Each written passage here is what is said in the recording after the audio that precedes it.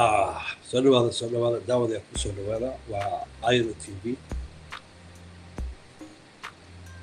Waxaad naga daawanaysaan ama waxaa iga daawanaysaan waa iro t v live from bergen norway iyo qaybta tiktoka pagekeyga tiktoka live ayaa iga daawanaysaan. Waqtiga norway waa sideed iyo shan daqiiqada waxaan sii wadaynaa barnaamijyadii aan labada habeen soo waday. Soo dhawaada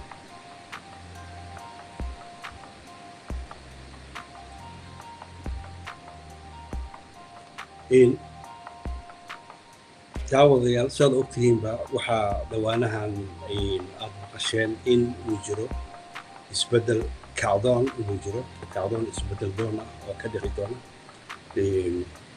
oo ka dhacay geeyiga soomaaliya meelo badan.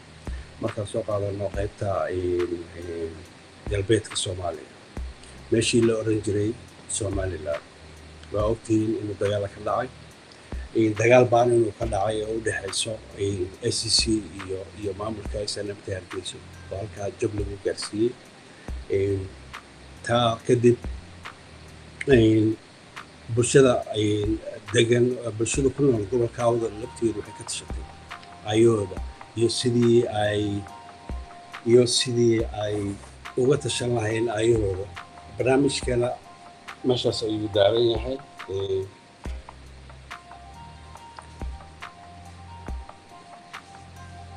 sorry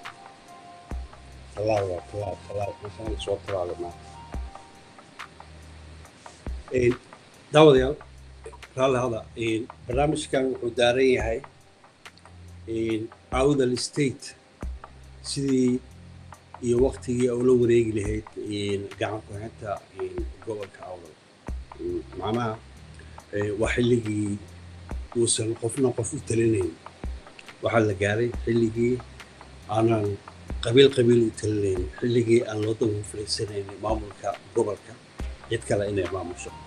Waa xilligii la tashan lahaa waa xilligii la gaaray in horumar la sameeyo daawadeel waa ogtihiin xaaladaha gobolka awdal soo maray muddo badan gobolka awdal wuxuu qayb ka ahaa maamulkii snmta hogaaminaysa ee hargeyso muddo soddon iyo laba sana soddon iyo laba sano kadib waxaad aragteen meesha ay marayso maanta inay s c c gooday qaybteedii ayadoo dagaal ba'an samaysay. Marka qaybta galbeedka ee awdalna waxaa si degan oo oo kafiisasho ah ula wareegaya awdal state. Awdal state minis waa dadka reer awdal oo ayahooda ka tashanaya. Marka waxaad aragteen wiigagii la soo dhaafay ama bilihii la soo dhaafay in aada loo hadalhayay dekeda saylac ugaaska beesha gadabursiyo oo oo etoobiya yimid iyo xaaladihiisa iyo la kulmay ragga dhigiisa s c ka soo jeeda waxyaabahaasoo dhan aa jiro marka barnaamijka maanta waxaan ka hadlaynaa oo si kooban oo faahfaahin ah sidii loola wareegi lahaa maamulka iyo gacan ku-haynta gobolka awda soo dhawaada wixii tala ah wixii tusaale ah wixii commenty ah wixii like ah wixii warbixin ah qofkii isku dayay inuu waxa u soo qoro dhinaca messageka ayaan kala xiriiri doonaa insha allah chatinka waa noo furan yahay qofkii soo chati karanaya wixii aa u baahan tahay dhinaca facebooka chatinka waa u soo qoraysaa daawadeel waxaa iga daawanaysaan waa iro t v live.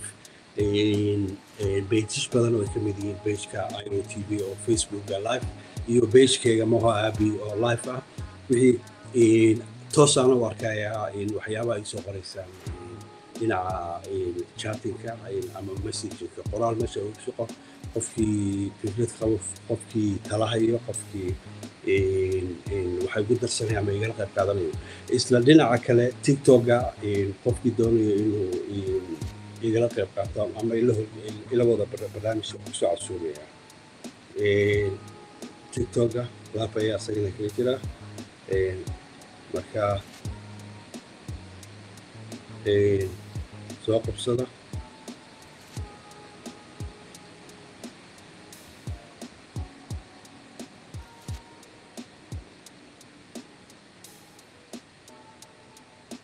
barnaamijkan wadamii hadduu bilaabmay waktiga waa sideedii waktiga norway. Waxaan kaga soo tabanayaa stuudiyaha norway waan ku leenahay norway magaalada belgian waa iro t v oo aad uga baratay barnaamijya aada u xiisa maanta barnaamijkaana hogaaminaya waa igu keligii. Barnaamijkana waxaan ka hadlayaa waxaan ka hadlayaa bulshada ku dhaqan awdal state si ula wareegi lahayd bulshada ku dhaqan admin bulshada ku dhaqan gobolka awdal si ula wareegi lahayd gacan ku-haynta gobolka awdal oo ayagu isu maamuli lahaayeen dhammaan waan salaamayaa. Dadyooga igu soo xirmay hadda.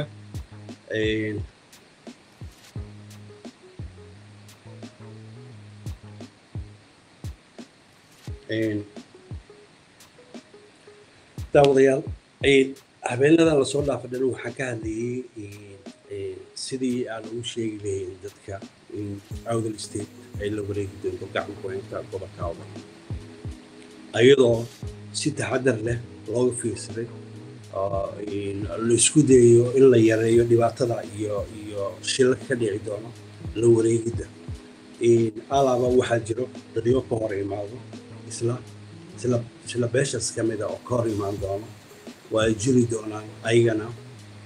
Gacan adag baa lagu qaban doonaa hadduu laa yidhaahdo marka dhalinyarada oo ognahay dhalinyarada ka sugeeda gobolka oo dibad iyo gudaba inay kacdoon wadaan inay diyaar yihiin aad baan aad baan aad baan idinku mahad celinayaa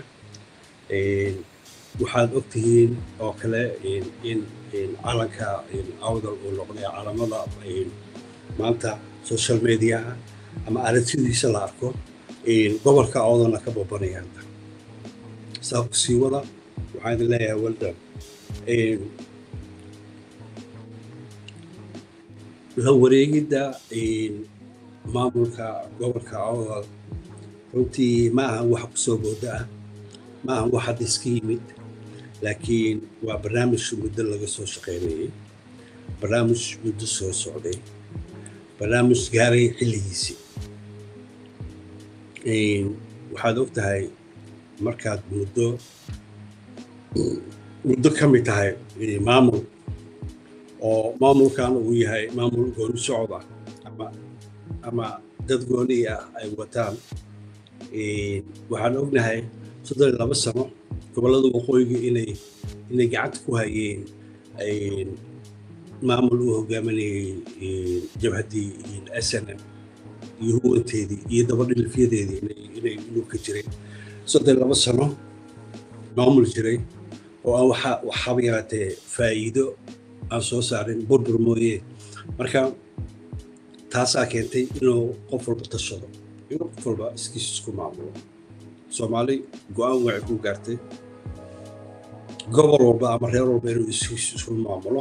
Intii isfahmi doontana hadhow wada shaqeeyaan oo isku yimaadaan marka gobolka awdal wuxuu ka mid yahay gobollada doonaya inay iskood isku maamulaan ee aan loo maamulin. Nomor maamul inuu hargeyso maamulo gobolka awdal.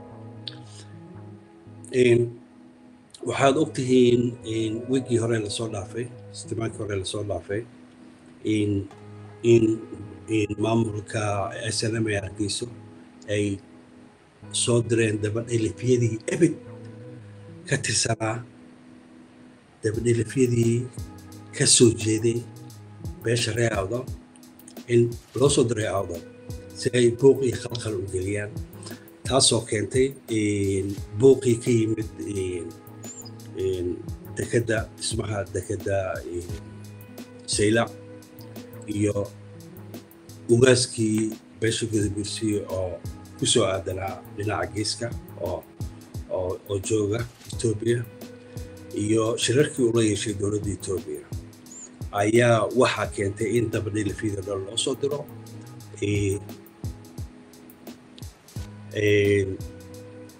waa runta faysal cabdi waa loo taliyaa laakiin waxay noqotay inaysan faa'iido ku jirin inaa qof kale u taliso aan kula shaqaynayn ama qof kalena ku taliya aada wada shaqaynaynin waa inuu isfaham jiro marka la wada shaqaynaya maamulada dadka isku darsaday gobollada isku darsaday maamulka. Waa inuu jiro waa inuu jiro ixtiraam iyo wada shaqayn iyo iyo iyo iyo hawl hawl hawl macnaha hawl hawl wanaag waa inuu jiro. Haddaysan taa jirin dee waxaa imaanaya dhow in isku dhaco marka intaan intaanan imaan in la isku dhaco marka waa in qof walba meel ka soo jeesto. Kadibna wax la isku darsado. Daawadayaal waa ogtihiin soomaaliya dowladdii dhexe soomaaliya markay burburtay inay soomaaliya meel badan macnaha u kala gooday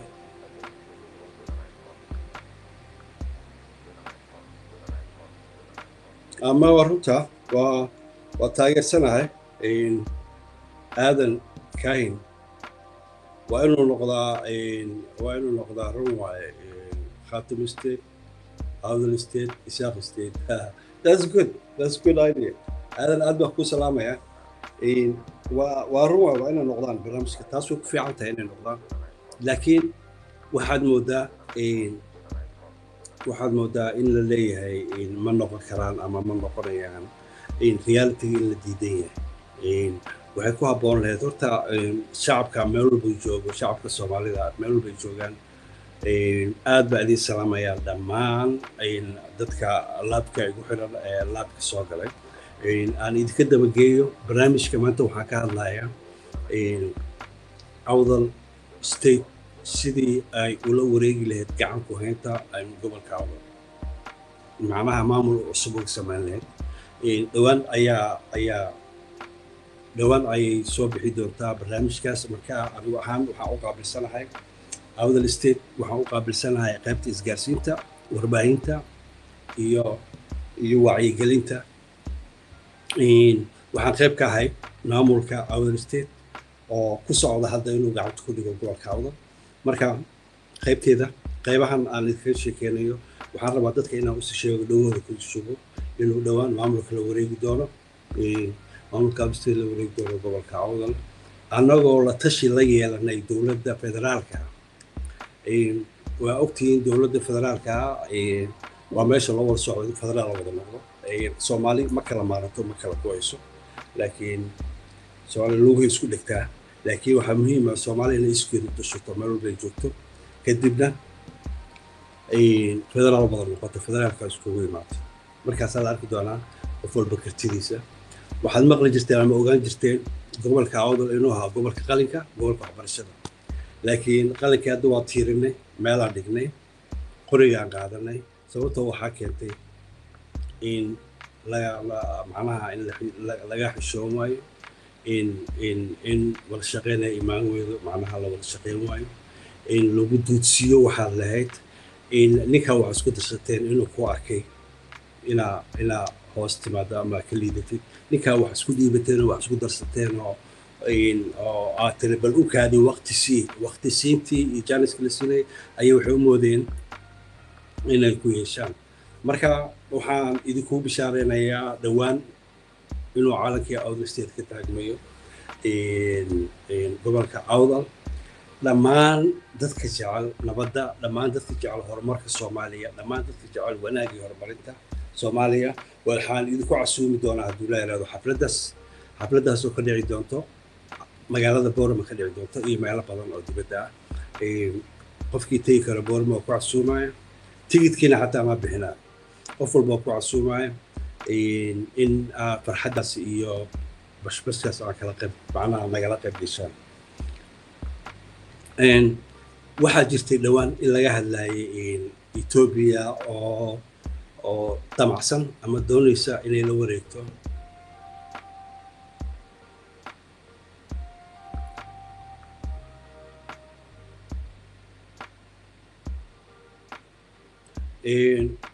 yaasiin warfaanin la dhaho wuxuu dhahay ciidan buu ka hadlay horta qofaan ciidan wadan ma leh ciidanka ay ciidankana ha u malayn dad kale ciidanka annaga ah ree odolo dhanaca ciidanka ah waa fahansamo marka ciidanku waa diyaar ciidan tababar leh ku soo tababartay meelo badan ku soo tababartay laakiin waa la imaan doonaan isla maamulka awdal state markuu soo gelaa ciidanka la imaan doona ciidan professional oo oo dhinac walba laga soo tababaray. Laakiin ciidanka annagu umaana tababarin in in dadka ay dhibaateeyaan. Macnaha dadooga dariska ah inay dhibaateeyaan.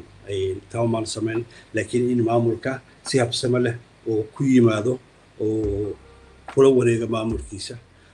Wataa idiin sheegay ayadoonan wax dhibaato ah iyo dil fara badan iyo macnaha damage badan ayadoon la gaarsiin in aan la wareegno ciidanka marka taas ka shaqeynaya maha ciidanka ciidanka ciidan dad weerarayo annaga diyaaruman inaan dad weerarno laakiin qof walba oo ka hor yimaado qof walba oo ka hor yimaado la wareega maamulka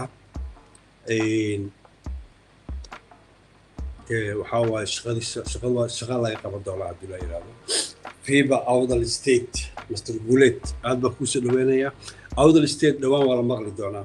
Steedi badanna waa ku xigi doonaa. Runtii waxaan ka shaqeynaynaa dadka soomaaliyeed si ay isu maamulaan. Inta isjecel ama inta is doonaysa ama intii wax wada qabsan karta ama iskood wax u qabsan karta.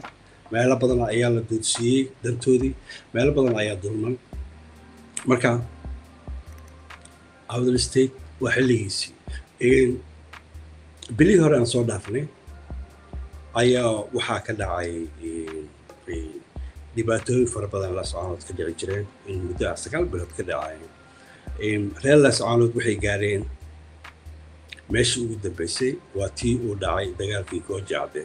Imagine gooja cadde waa dagaalkii boqol sano kadib ka dhacay. Jab la jibiyo ciidan. Waa dagaal historiga geli doono ciidankii snmta ay soddon labada sano ay aruurinayeen bishaa lagu jibiyey meeshiis ku dhamaatay aad baa ugu hambalyanaya reer icc khaatumo oo weliba ku biiray maamulada dowladda federaalka aad baa ugu hambalyanaynaa waa dad aan isku halganahayn waa dad wax naga dhexeeyeen waa dad isku xaalad aan ku jirnay dabcan way ogyihiin xaaladda ree awdalla meesha marayso. Maadaama jabkii gooja cadde ay lagu jebiyey uu ahaa midaan laga soo noqon karin ama midaan laga kabsan karin oo isna meeshaas ay ku dhammaatay ayaa maamulka awdal state oo uu wadahadal la sameeyey dowladda federaalka ayaa waxay go'aansadeen in si habsame ah oo aan buuq ku jirin aanan dhibaato ku jirin loola wareego dadka marka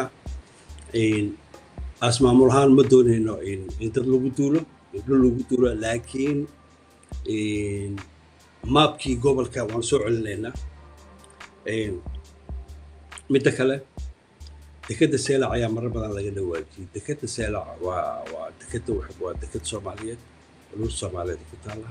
Laakiin dekadda waxay gacanta ugu jirtaa oo ka talinaya oo ka howlgelinayo waa bulshada degan gobolka awda ayaa arrintaas ay u taallaa isla dekadda laftigeeda ay waad ogtihiin waa magaalo iyo dekad history ah dekadaas waxaa laga soo degi jiray boqolaal sano ka hor ayay shaqayn jirtay waa waa dekad taariikhi ah magaaladana waa magaalo taariikhi ah waa magaaladii diimaha dhan ay soo mareen waa magaaladii waa ogtihiin history badan ku jirto haddaad dhegaysateen waxaa ku yaalo masaajid aada caan u ah oo taariikhi ah oo oo ah masaajida waaweyneed ummadda muslimiinta ee leedahay doctor qasin haddaa dhegaysateen barnaamijyadiisa masaajidka waa masaajid aada muhiim u. Ah waa masaajid taariikha badan xambaarsan marka magaaladaas iyo isla gobolkaasba wuxuu xambaarsan yahay taariikh. Daawadayaal saa ogtihiin in awdal saa ogtihiin iro t v channelka in kala hadlayo oo waa channel tobankii sano ugu dambeysay ka hadlayay xaaladaha gobolka geeska. Dadka soomaalida taariikhdooda afka guurka ee soomaalida dagaaladii soo maray waxyaaba fara badan ka hadlayay history ku duugan gobolka geeska.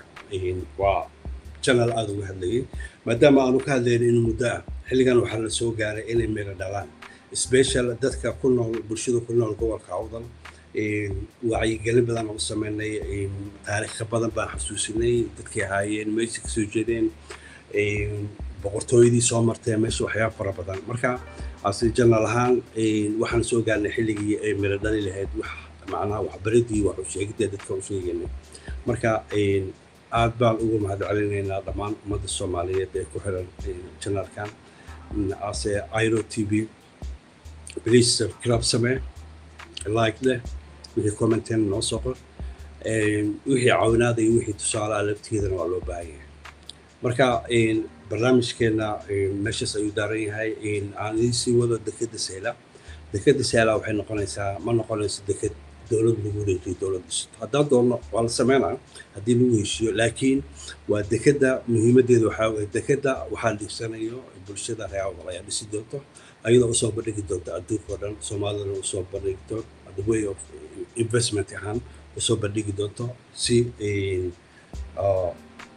si macnaha loo wada dhisto qof walboo dhistana qayb ayuu ka noqon doonaa marka dekeda saas ayay noqon doontaa ma noqon doonto dekedu qof walba ka hadlo waxaa jira oo maqlaysaan maamulka snm inuu u soo dirsaday dabdhelfiyadoodii oo dhan oo baboorami jooga oo ka hadlayo meelahaas oo dhan iyo maamulka awdal state xaaladiisa. Waxaad maqlayseen media ku arkayseen dad fara badan oo leh aflagaado iyo iyo dagaal baan kala hortegaynaa iyo waa la ogyahay mar walba oo isbeddel yimaado inay jiraan dad diidan. Waxweyn ma hataa diyaar baa loo yahay. Waxaa dhalinyarada dhalinyarada real state dhalinyarada ku nool gudaha arrimahaas ayaga ku filan. Qof walba isku day inuu ka hor imaado ayaga warka keenayo. Siday ula dagaalami lahaayeen iyo waxyaabay iyo iyo waxyaabay isticmaali lahaayeen annaga diyaar ula ah una soo gudbin doona daawadayaal barnaamijka waxaad iga daawanaysaan iro t v beejkiisa internetka aniga beejkeyga beejka iro t v facebook beejka suxufi abrona beejkiisa life kaga jira beejkeyga anigu life kaga jira tiktoka laftigeeda life aan kaga jira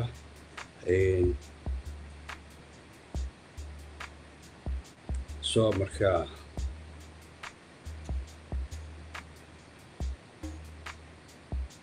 soo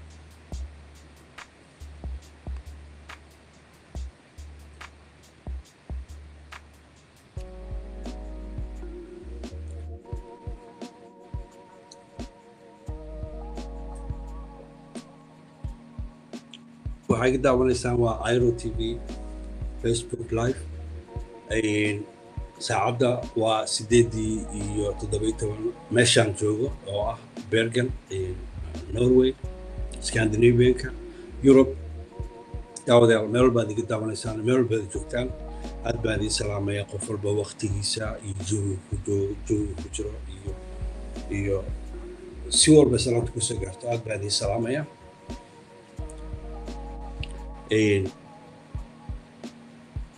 waxaan maalmahanba ka hadlayay oo aan wadnay halgan ku saabsan sidii loo afjari lahaa ama loola wareegi lahaa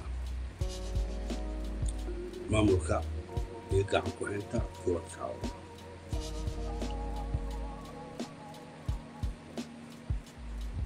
wixii su'aalaha waa furan tahay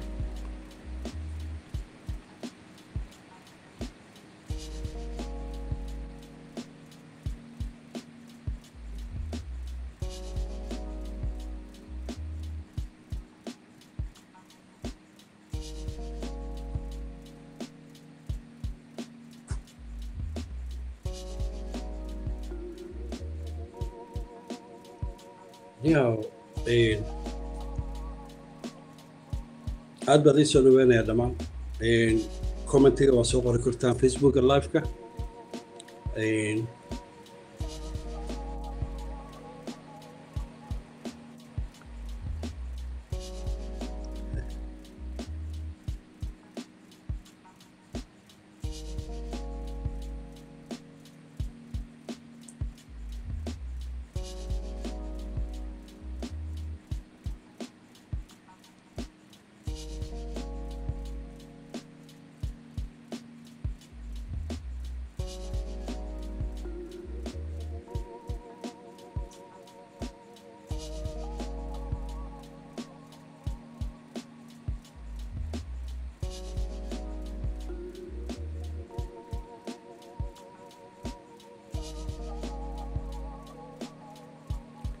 waxaa la tusaa dadka qaarkiis commentigay soo qoreen la tusaa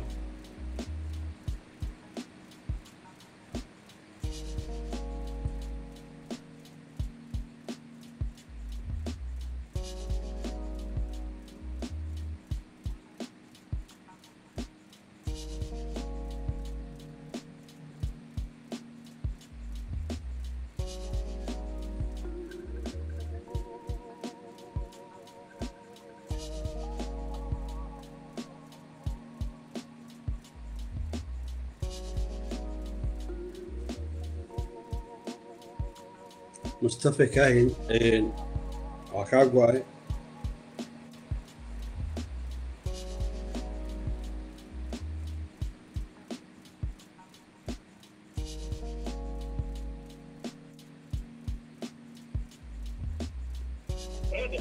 اه ايه ورا في انت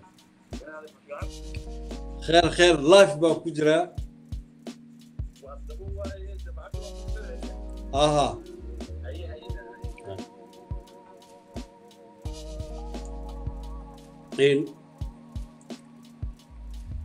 waktiga waa socdaa barnaamijka wuu socdaa dadka qaarkood lala sheekaystaa waa muhiima. Daawadayaal aad baa masantihiin wax walba aad sheegto qof walba wuxuu sheegto. Waa ra'yigiisa iyo garaadkiisa weeye. Qof walba si u soo qoro qofka garaadkiisa u soo qoraa muxuu ahaa commentigiis waxay ku saabsan waxay ku xiran tahay garaadka.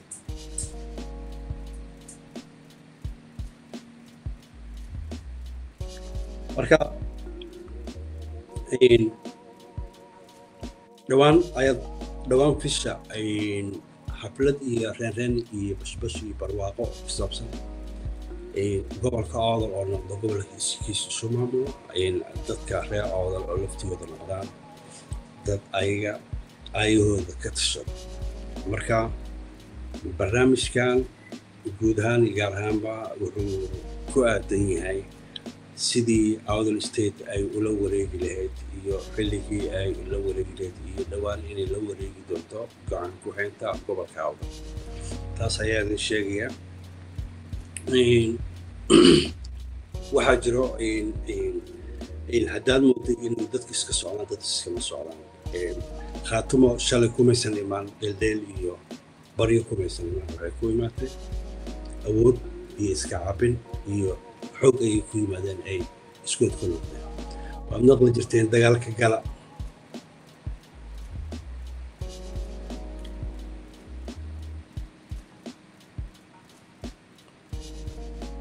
Baba ninkaa qaba gacanta ku qabo boorama haddaad joogtid boorama dad kuu soo diraa nin baa wuxuu yidhi boorama halkaale cabdilaahi cabdilaahi waa iska laciif waa nin maskax yar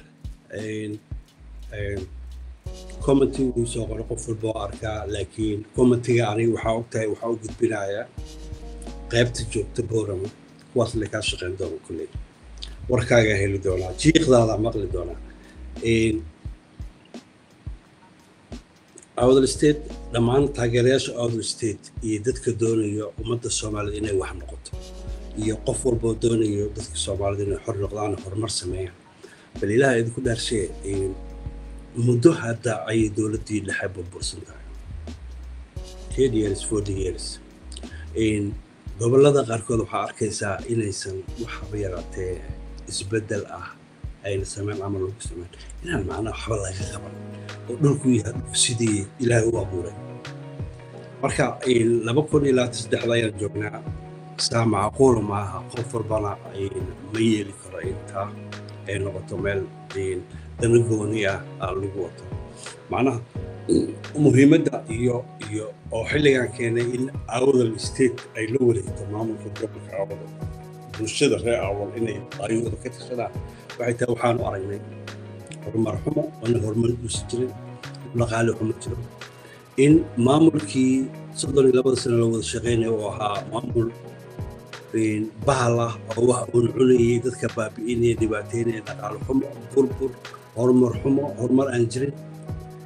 In dadka lagala macnaha gobolka reer awdal uu noqday meel lagala dagaalamo waxaad ogtihiin in jaamacado badan gobolka ay dhalinyaro badan ka soo dhacaan dhalinyaradii shaqo loo mahay waxay noqon dhalinyaradii inay badaha ku dhintaan inay meelo kala hadaan dhibaatooda inay meela iska fadhiyaan. Taa ma dhici karto muddo ayaa la daawanayay muddo soddon iyo laba sano ayaa la daawanayay markaan dadku waa inay ayaga ayood ka tashadaan. Waxay noqon doontaa haddii la yidhaahdo gobolka awdo.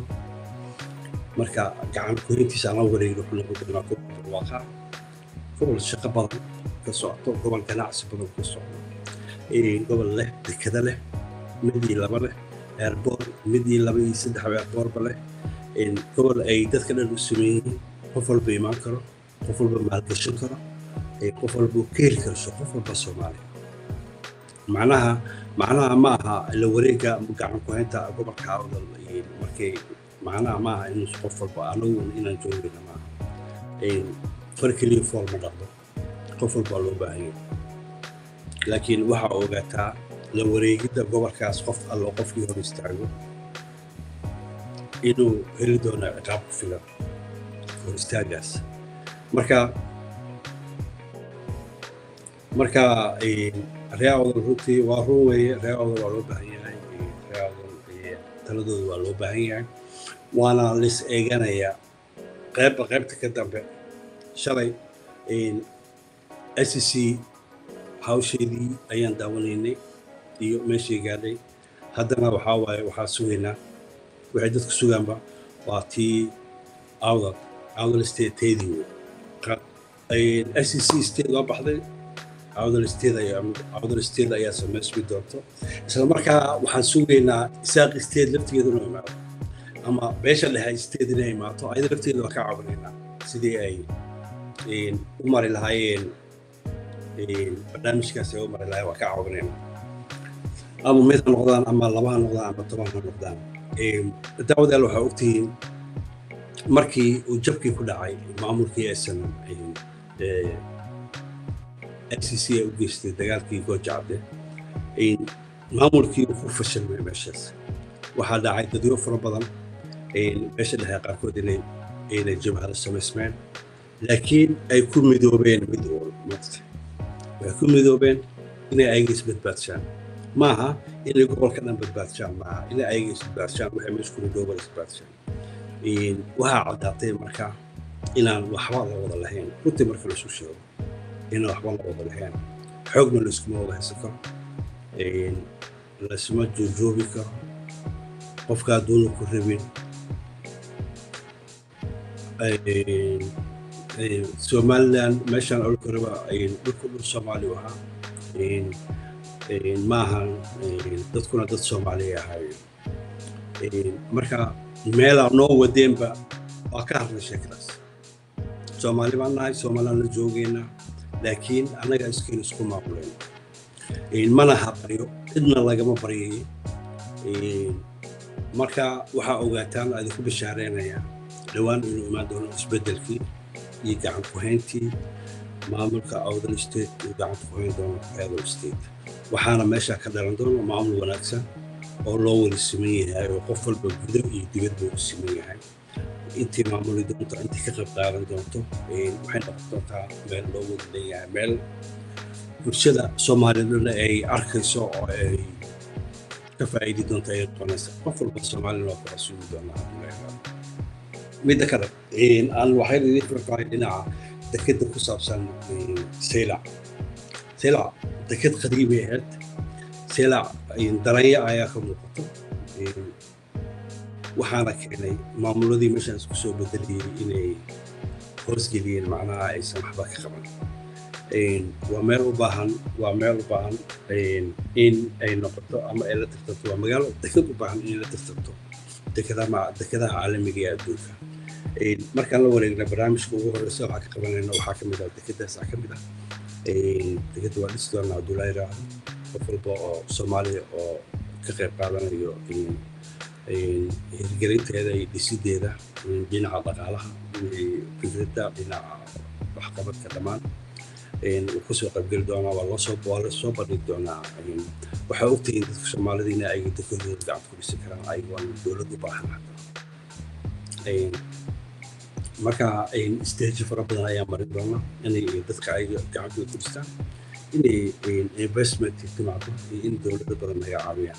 Markaas ayay iman doontaa dowladda etoobiya dowladda etoobiya keliya maaha waxaa ogtihiin gobolka awdal inuu inuu inuu xiriir leeyahay ama dadka bulshada reer awdal laftigooda ay qayb degan yihiin dhinaca etoobiya iyo bulsho badan oo soomaaliya oo degan etoobiya kelinka waxaan samaynaynaa ganacsi kelinkaan la samayno dhinaca dekada doobahayn iyo ahaanba etoobiya iyo dowladda etoobiya laftigeeda inaan la sameynaa meesha percentage ka siino si maxnaha ganacsi aan.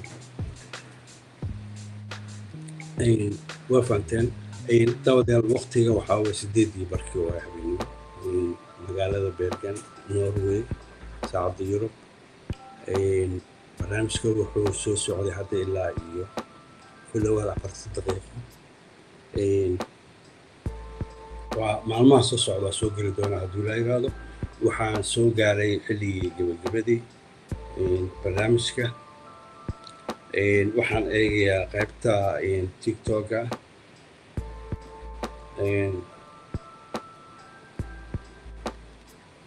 Ciddii diyaarku ama tala ku hayso meesha ay waxay iisoo gudbinayso daawadayaal waxaad naga daawanaysaan waa iro t v. Iro t v qof walbaa yaqaana. Iro t v toban sana ugu dambeysay wuxuu ku hoolanaa siduu u dhisi lahaa aqliga iyo dareenka iyo fikradda ummadda soomaaliyeed ee ku nool geeska africa khaasatan gobolka awdal dadka siduu u wacyigelin u isticmaalaa siduu u bari lahaa taariikhdooda sidii u kari lahayn gobolka dad ku nool waa dad aad u nabad u jecla waa dad dowlad wanaaga macnaha waa ku nool waa dad ku nool dowlad wanaaga daawadeer waxaa ogtihiin waxaa ogtihiin dowladdii dhexe burburtay soomaaliya inay ka samaysay dekada fara badan soomaaliya. Dekadahaasoo dekadahaasoo loogu talagalay inay ka faa'iidaystaan bulshada soomaaliyeed guud ahaan inay ka faa'iidaystaan burburkii kabacdi waxaa dhacay in dekadihii ay noqotay meelo reero gooni a leeyihiin ama ay ka faa'iidaystaan ama ay rutraaya ka bixiyaan waxaad ogtihiin dekada seelac in marar badan la soo bandhigay in la dhiso ama lughayo sheelac in marar badan la soo dhigay oo la isku dayay in aan waxba laga qaban. Laakiin ka hadalka ay etoobiya dowladda etoobiya ka hadashay dekada seelac ma aha mid hadda iska yimid anaa mid ku soo booda ama waa mid annaga aan kala hadalnay. Maamul ahaan maamul ahaan outer state waa mida annaga aan kala hadalnay ama kala waajinay marka taas ayaa keentay inuu asalkiis ka hadlo malaha dekadana etoobiya la wareegsan maxoo ku qabsanayso? Weer aba ay tahay nina nidma qabsan karo. Waa fahansamo nina nidma qabsan karo. Marka dowladda dowlad ma qabsan karto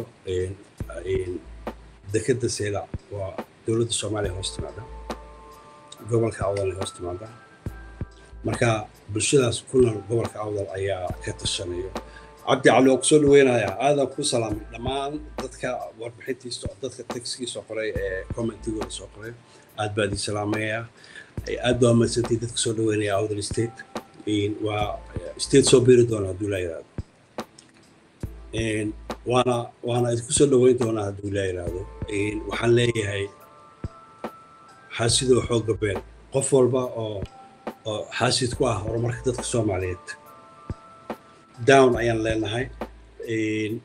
Intii horumarka jecelna waa soo dhaweynaynaa waxaa iga daawanaysaan waa facebook live iro t v bagekeyga bagekeyga facebookga waa iga daawanaysaan suldaanka bagekeyga bagekeyga tiktokana waa dad baa igala socda life ayaan kaga jiraa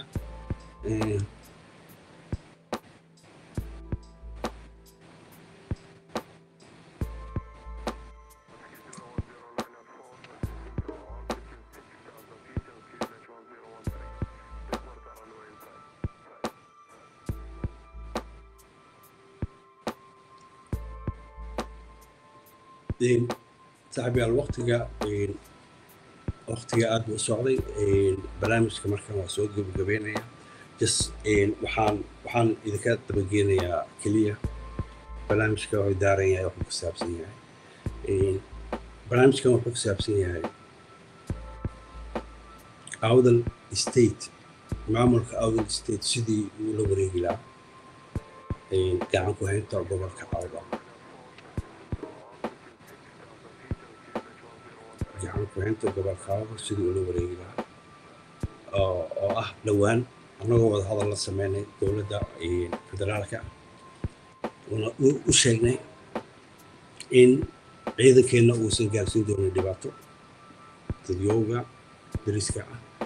Laakiin oo aan laga fursanaynin oo aan laga fursanaynin cid walba oo ka hor imaato in gacan bira lagu qabto daawadayaal aad baa umadsan tihiin waxaan ogahay inaad ku faraxsan tihiin gobolka awdal oo noqdo gobol iskiisisku maamulo oo la jaan qaado horumarka geeska. Waxaa og tihiin waxaa og tihiin aad aad ii salaamayaa cabdi xalane dhammaan jamaahiirta ku nool magaalada copenhagen aad baa ii salaamayaa. Jamaahiirta copenhagen ku nool aad baan u salaamayaa kuwa london ku nool aad baan u salaamayaa milton keen luton aad baan ii salaamayaa dhammaan muqdisho jamaahiirta ku nool aad baan u salaamayaa dhammaan laasacaanood hargeysa iyo boorama meel walba jamaahiirta ku nool dadka soomaalida waa dad isjecel ma ahan barnaamijkeyga inaan ka hadlaya aniga qabiilay uma hadlaya waxaan u hadlaya ase maamul ahaan meeshii la oran jiray somaliland waxaa maamuli jiray snm group snm ahaa oo aysan ahayn inay meesha joogaan marka ani kama hadlayo shacabka beesha degan beesha dhexe shacabkooda kama hadlayo. Shacab wanaagsan. Waa dad wanaagsan wanaagsan leenahay oo dad walaalo aan nahay laakiin waa in la iska qaado maamuladan iyo raggan meesha jooga ee danaystayaasha ah. Marka taan ka hadlayo waa taa mar walbana waxaa fiican in la ogaado meesha laga hadlo. Qof walba oo sheekada bedelana waxba nagama gelin. Daawadayaal barnaamijkii ku saabsanaa awdal state sidii loo wareegi lahayd gacan ku haynta gobolka awdal intaas ayaan ku soo gabagabeynaya maanta aad baa u mahadsantihiin intii comment soo qortay intii daawadayaashii laafkii daawanaysay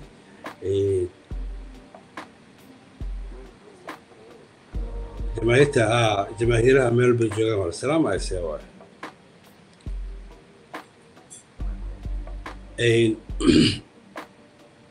intaas aan ku soo gabagabeynaya barnaamijkeena barnaamijka xiga oo noqon doono habeen dambe habeen ku xigo haddee noqoto habeen dambe waa soo gelaa wiigan waxaan wadayaa sababtoo waxaa soo socdo la wareegitaanka gobolka hawal ayaa soo socda. Marka aad baa u mahadsantihiin waa inoo barnaamijka xigo. Dhammaan waa idin jecelnahay sheer gareeya subscribe sameeya wax walba oo wanaagsan. Isku soo noqon doonaa hadduu la elo